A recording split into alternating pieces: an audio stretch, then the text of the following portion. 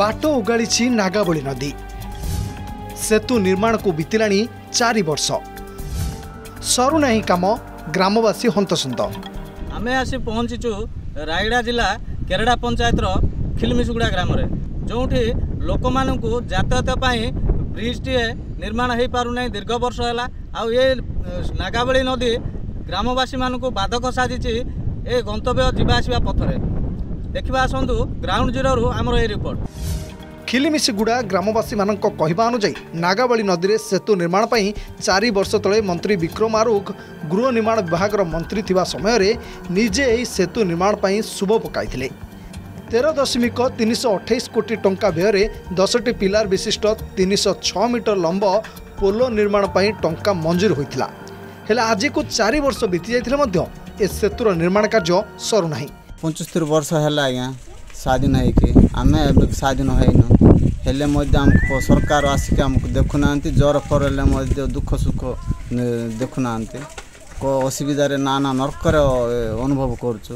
ଏ ବାର କିଲୋମିଟର ଚାଲିକି ନଦୀ ସମୟରେ ଯା ଆସ କରୁଛୁ। ବ୍ରିଜ୍ ତ ଆରମ୍ଭ ହେଲା ଚାରି ବର୍ଷ ହେଲା ଆ, ଦେଇଛନ୍ତି ବ୍ରିଜ୍ଟା। କାମଟା ଶେଷ ହୋଇପାରୁନି। ଏପଟେ ନଦୀ ଏପଟେ ଦଶ ବାର ଖଣ୍ଡ ଗାଁ ଲୋକ ଅଛନ୍ତି। ବହୁତ ଲୋକ ସମସ୍ତେ ଅସୁବିଧାର ସମ୍ମୁଖୀନ ହେଉଛନ୍ତି। ଚାରି ମାସ ଆମକୁ ପୁରା ନିର୍ଯାତନା ଭଳିଆ ଲାଗୁଛି ବେଶୀ ଅସୁବିଧା ହେଉଛି। ପାଠ ପଢ଼ିବା ପାଇଁ ସ୍କୁଲ ମଧ୍ୟ ପିଲାମାନେ ଯାଇପାରୁନାହାନ୍ତି। ଏହି ନାଗାବଳୀ ନଦୀ ଆରପାରିରେ କେରଡ଼ା ପଞ୍ଚାୟତ ଓ ହାଟ ସେୟାଖଲର ପଞ୍ଚାୟତର ଅନେକ ଗ୍ରାମ ରହିଛି। ଏହି ଦଶରୁ ବାର ଗ୍ରାମରେ ପାଖାପାଖି ଚାରି ହଜାର ଲୋକ ବସବାସ କରନ୍ତି। ଏ ଅଞ୍ଚଳବାସୀମାନଙ୍କ ପାଇଁ ସରକାରଙ୍କ ସମସ୍ତ ସୁବିଧା ଅପହଞ୍ଚ ସେ ସ୍ୱାସ୍ଥ୍ୟ ହେଉ କିମ୍ବା ଗମନାଗମନ କିମ୍ବା ଶିକ୍ଷା। ବର୍ଷା ଋତୁର ଚାରି ମାସ ଏହି ଅଞ୍ଚଳବାସୀ ନର୍କ ଯନ୍ତ୍ରଣା ଭୋଗୁଥିବା ନେଇ କହିଛନ୍ତି। ଏହିସବୁ ଦୁର୍ଗମ ଅଞ୍ଚଳ ନିମନ୍ତେ ସେତୁଟି ନିହାତି ଆବଶ୍ୟକ ଥିବା ସତ୍ତ୍ୱେ ମଧ୍ୟ ପ୍ରଶାସନ ଓ ବିଭାଗୀୟ ଅଧିକାରୀଙ୍କ ଅବହେଳା ଫଳରେ ହନ୍ତସନ୍ତ ହେଉଛନ୍ତି ଉପାନ୍ତ ଦୁର୍ଗମ ଅଞ୍ଚଳବାସୀ। ଆଜ୍ଞା ବହୁତ ଅସୁବିଧା ହେଉଛି ଆଜ୍ଞା।